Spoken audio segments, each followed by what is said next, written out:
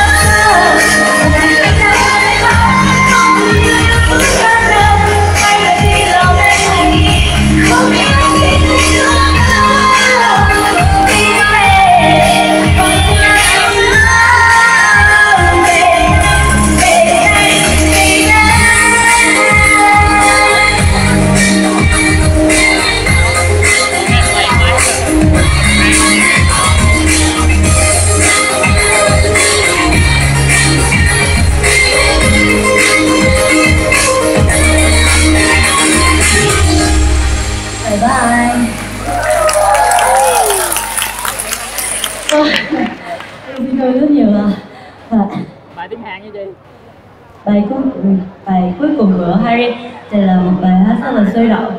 Ờ, và nãy giờ thì Harry hát bài tiếng Việt là hai bài liên tục rồi. Ờ, mà các bạn có biết là hay là người nước nào không ạ? hàn quốc. Và hay là người Hàn Quốc. Chính vì thế cho nên hôm nay Harry sẽ tặng một bài Hàn Quốc cho các bạn. Một bài hát có mang tên là Rolly Polly